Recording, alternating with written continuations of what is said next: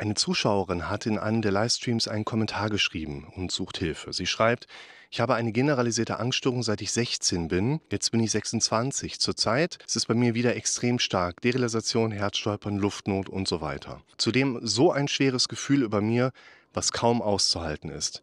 Habe so Angst zu sterben. 24-7 Gedankenkarussell. Was kann ich tun? Zunächst finde ich wichtig, dass sich jeder Betroffene professionelle Hilfe holen muss. Da die Wartezeit bei vielen Therapeuten sehr lange ist, macht es natürlich immer Sinn, erstmal zum Hausarzt zu gehen und dort eine erste Abklärung zu machen. Weil auch solche Situationen natürlich aufgrund von organischen Erkrankungen kommen können. Wir haben hier teils starke organische Symptome. Es kann sein, dass eine organische Grunderkrankung vorliegt, die man behandeln kann.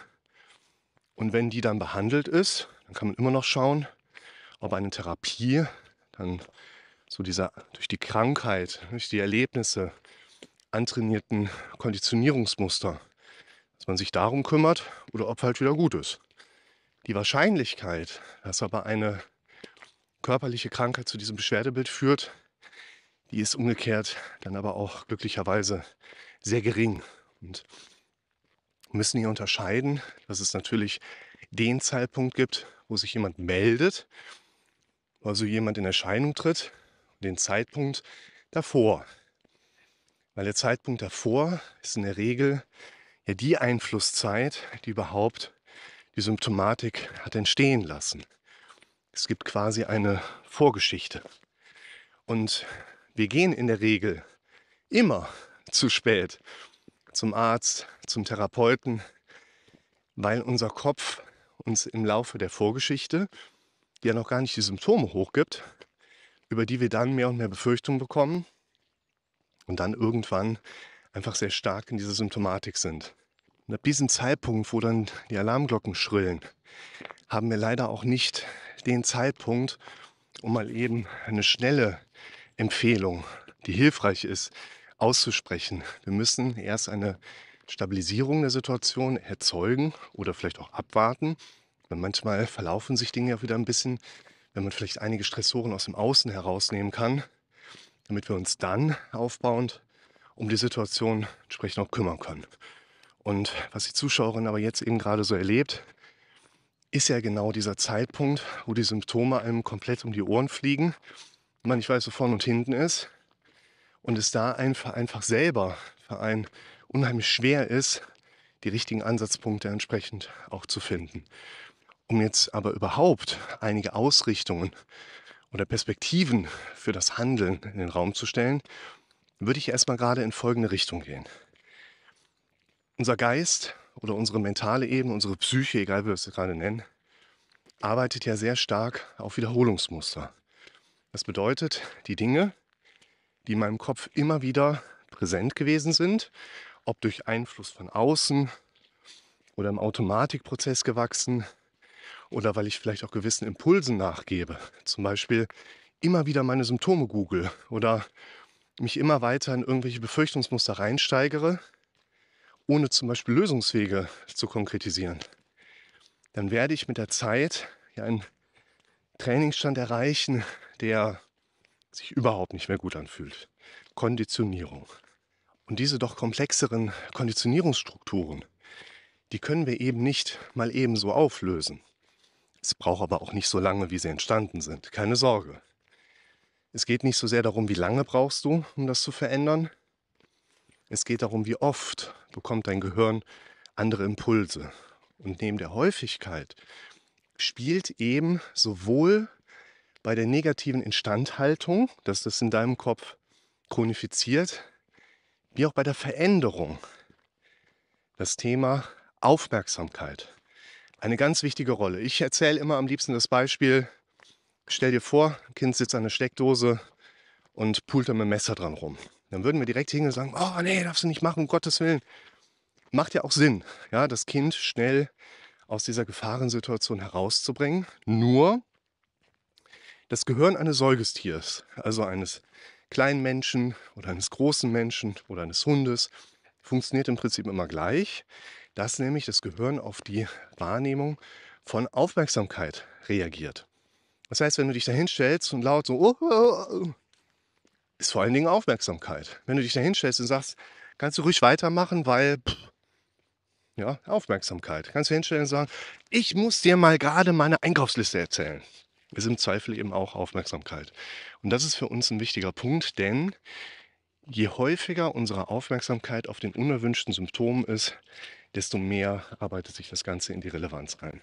Und deshalb ist gerade bei der Frage, sind meine Symptome körperlichen Ursprungs oder doch aus der Psyche heraus?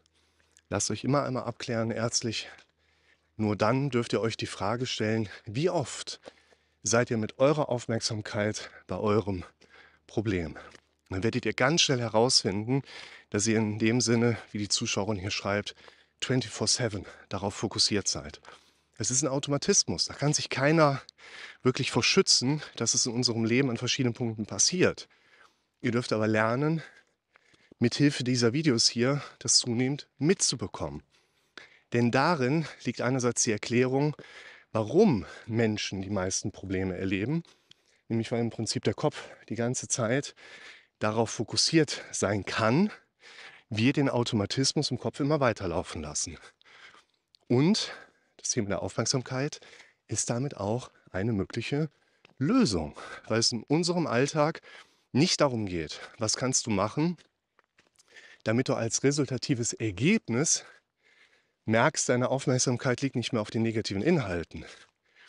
Es geht am Anfang, gerade zu Beginn, immer nur darum, dass du deine Aufmerksamkeit bewusst von den problematischen ziehst, auf andere Dinge hinüberlenkst. Und dabei geht es darum, ins Machen zu kommen. Wir warten immer, bis wir die richtige Anleitung zu haben glauben, den richtigen Tipp bekommen oder am besten sogar noch ein Medikament nehmen oder uns zum Therapeuten setzen, der das dann für uns erledigt. Du musst lernen, bei den Dingen, wo du eine Konditionierung deines Kopfes erkennst, immer wieder in die Moderation zu gehen. Nö, darum kümmere ich mich nicht. Es geht nicht darum, wie kannst du es abschalten. Es geht darum, dass du anfangen musst über die nächsten Tage, Wochen vielleicht sogar. Am Anfang sehr viel häufiger und nachher immer weniger. Aber dich selber dahin zu moderieren, nö. Ich kenne diese Gedanken, ich kenne den Fokus auf diese unangenehmen Gefühle. Gehe ich jetzt nicht mit. Ich kümmere mich jetzt um was anderes. Worum? Spielt vielleicht nachher eine zunehmend wichtigere Rolle. Dass wir sagen, Du brauchst Ziele, du brauchst Projekte, du brauchst Dinge, mit denen du dich beschäftigen kannst und willst. Aber am Anfang hilft euch das nicht unbedingt weiter, um in diese Ansage zu kommen. Achtet aber bitte auch darauf. Nicht einfach pauschal von allem ablenken. Es gibt ja genug Dinge, die immer weiter stören, weil sie noch nicht als Problem angegangen und gelöst sind.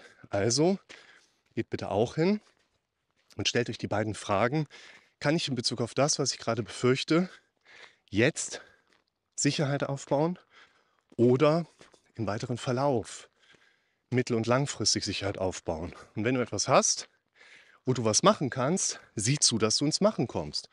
Wenn du etwas hast, wo du weißt, du schlägst da den anderen Weg ein, dann kannst du deinem Kopf immer wieder mitteilen, ich kümmere mich nicht drum.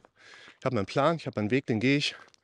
Und jetzt gerade kann ich sowieso nichts machen, also brauche ich ja nichts drüber nachzudenken. Und wenn eine andere Befürchtung bekommt, komischen Film gesehen, befürchtet jetzt, euch fällt der Mond auf den Kopf oder sowas. Kannst auch nichts gegen machen. Also brauchst du auch nicht drüber nachzudenken. Insofern finde ich auf die Frage von der Zuschauerin Folgendes wichtig.